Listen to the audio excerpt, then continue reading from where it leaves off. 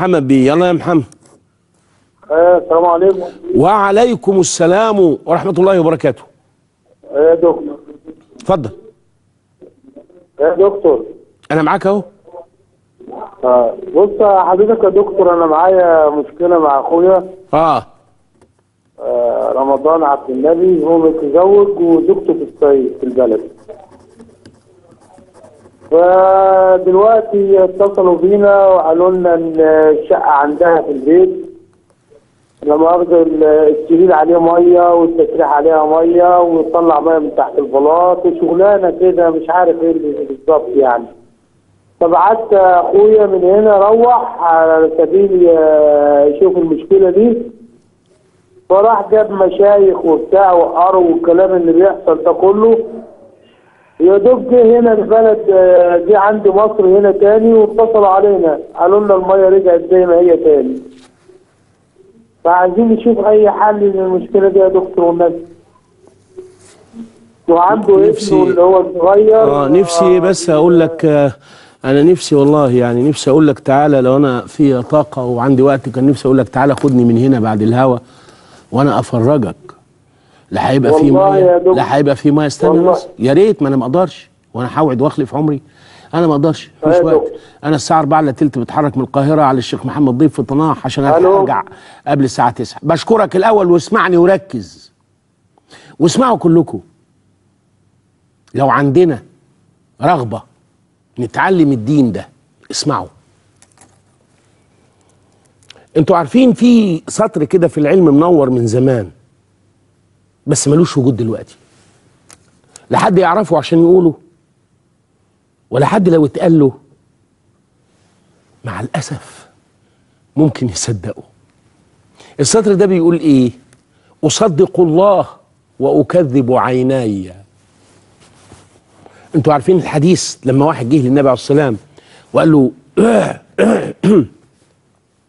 أخويا بطنه وجعاه قال له اسقيه عسلا. فراح سقاه شوية عسل ورجع للنبي تاني سيدنا محمد عليه الصلاة والسلام. قال له لسه بطنه. قال له اسقيه عسلا. قال له حاضر.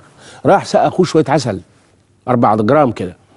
رجع للثيرد بقى المرة الثالثة. أخويا يا رسول الله سقيته عسل. قال له اسقيه عسلا. قال له حاضر. وراح سقاه شوية عسل. الرابعة بقى يا رسول الله لسه بطنه. آه. قال له صدق الله. وكذب بطن أخيك. العلماء بقى عشان ما حيركوش 30 سنة واقول لكم دوروا عليها. أنا هقولها لكم أنا في أربع ثواني. العلماء قالوا يعني إيه كذب بطن أخيك؟ قال يعني كان الراجل ده اللي بطنه وجعاه كان عنده إسهال. فالنبي قال له اسقيه عسل فسقاه عسل. اسقيه عسل فسقاه عسل. سقاه عسل عسل. لما جاله كانت آخر مرة في الإسهال ويسمى اسهالا كاذبه يعني هيقطب بعدها بلغتنا الفلاحين. وفعلا بعدها ما سهلش تاني. كذب. المية اللي محطوطة على السرير كذب. والمشايخ اللي راحوا كدابين ودجالين وبتوع عشوة وطلط أبيض. يروحوا يقروا القرآن في أماكن لا تليق وفي مواضع لا تصح.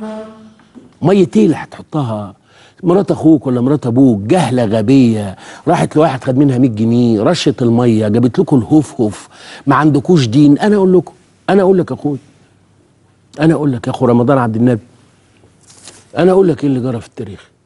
أو أقول للدنيا كلها. أنتوا عارفين حكاية اللي أنا قلت عليها دلوقتي؟ صدق الله.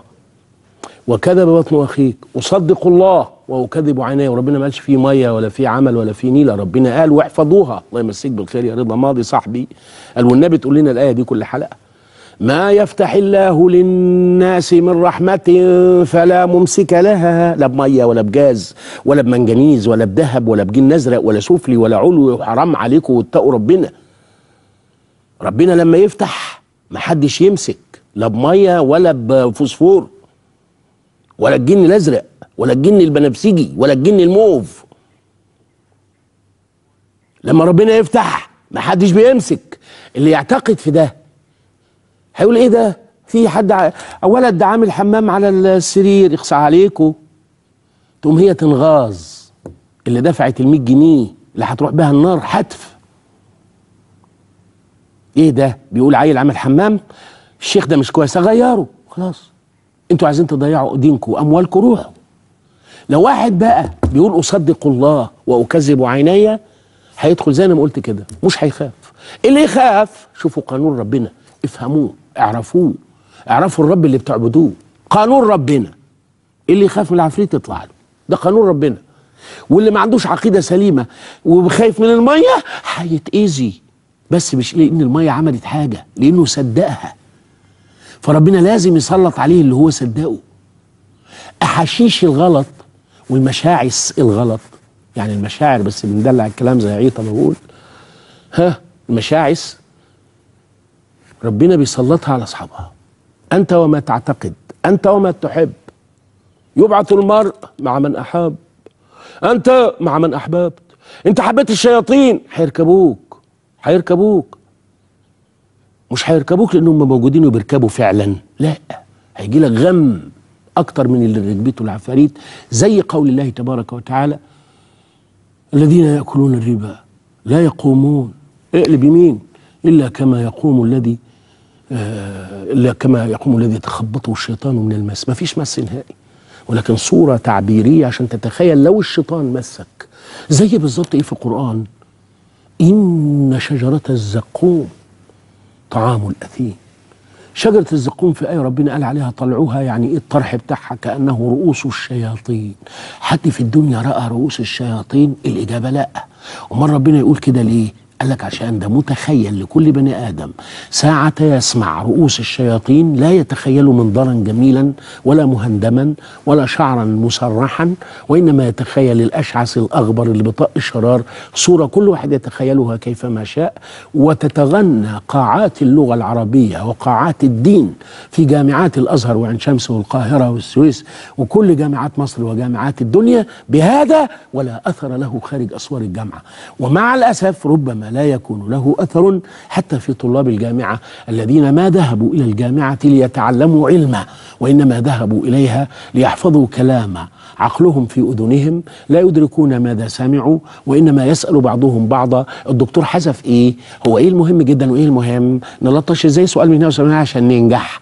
وما زال أبو أحد الطلاب أو جده أو أمه بكركر في الجوزة ويقول ها ها ها ها, ها.